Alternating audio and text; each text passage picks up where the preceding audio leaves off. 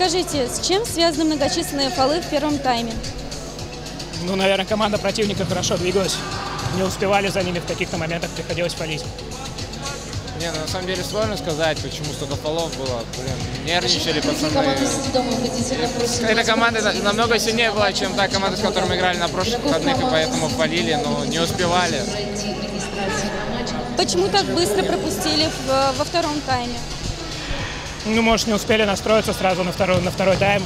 После перерыва немножко расслабленные вышли. Я не знаю, почему пропустили всякие бывают моменты, но, блин, да, что не доработали.